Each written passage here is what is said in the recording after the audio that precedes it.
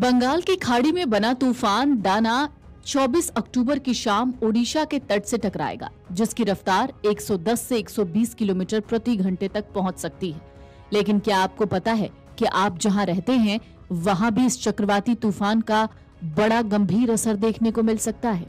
तो चलिए आज हम आपको बताते हैं चक्रवात दाना से निपटने की तैयारियाँ क्या हैं और इसका असर किन किन राज्यों पर पड़ेगा। पहले तो ये जान लीजिए कि तूफ़ान की वजह से ओडिशा और बंगाल में तेज हवाएँ चलेंगी, बहुत भारी बारिश होने की संभावना है। तो क्या ऐसी ही हवा और इतनी ही तेज बारिश देश के अलग अलग राज्यों में भी होगी? अगर हाँ तो ऐसे कौन से राज्य हैं जिसका असर दिखाई दे सकता है? दरअसल, ओडिशा और पश्चिम बंगाल में आने वाले चक्रवाती तूफ़ान दाना का असर बिहार और उत्तर प्रदेश में भी देखने को मिल सकता है। कहा जा रहा है, चक्रवाती तूफ़ान दाना समुद्री तट से टकराएगा जिस वजह से ये और ज़्यादा गंभीर रूप ले सकता है। आईएमडी के पूर्वानुमान के मुताबिक, आपको बता दें, जैसे ही ये तूफ़ान टकराएगा, उसके बाद कई तरीके की चीज़ें देखने को मिल सकती हैं। इस दौरान धूल भरी आंधी भी चल सकती है, गरज के साथ बारिश भी हो सकती है। लेकिन अब आप जान लीजिए कि इसका असर बिहार में किस तरीके का और झारखंड और यूपी में किस तरीके का रहने वाला है। जिस वक्त ये तूफ़ान टकराएगा उस वक्त इसकी रफ्तार 120 से 130 किलोमीटर प्रति घंटा हो सकती है। तूफ़ान की वजह से ओडिशा और बंगाल में तेज हवाएँ चलेंगी। बहुत भारी बारिश होने की आशंका है। इससे पहले यूपी, बिहार में मौसम यू टर्न लेने लगा है। पटना मौसम विभाग ने इसको लेकर अलर्ट जारी किया है। इसमें मौसम विभाग ने बिहार के कई जिलों में 24 अक्टूबर से आंधी और बारिश की आशंका जताई है। तूफ़ान दाना की वजह से यूपी में मौसम बिगड़ रहा है। सूबे के कई जिलों में 24 अक्टूबर से 36 घंटे तक गरज चमक के साथ बारिश के आसार हैं। इस दौरान धूल भरी आंधी भी चल सकती है। आईएमडी के पूर्वानुमान के मुताबिक 24 अक्टूबर को यूपी के पूर्वी हिस्से के कई जिलों में गरज चमक के साथ हल्की बारिश हो सकती है जबकि पश्चिमी यूपी में मौसम में कोई खास बदलाव नहीं आएगा।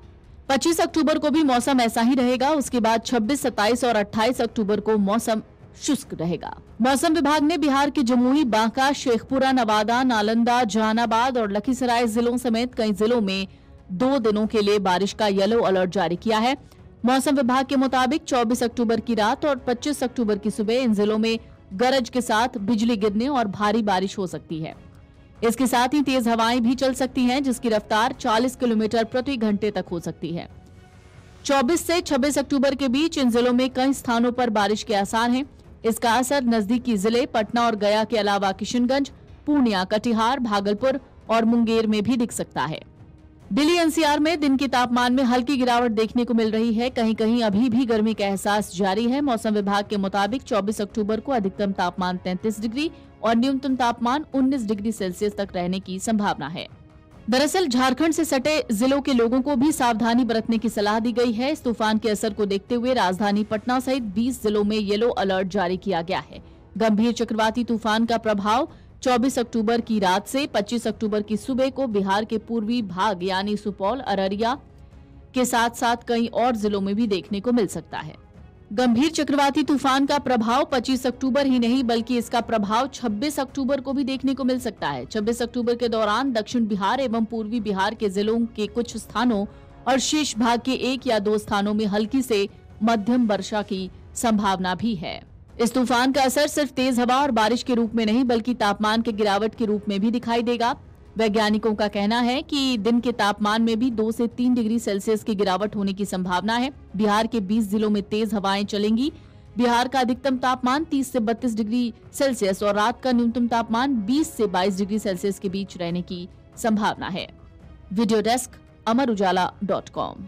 अगर आप ये वीडियो YouTube पर देख रहे हैं तो हमारे चैनल को सब्सक्राइब कर बेल आइकन दबाएँ और Facebook पर देख रहे हैं तो हमारे पेज को लाइक करें।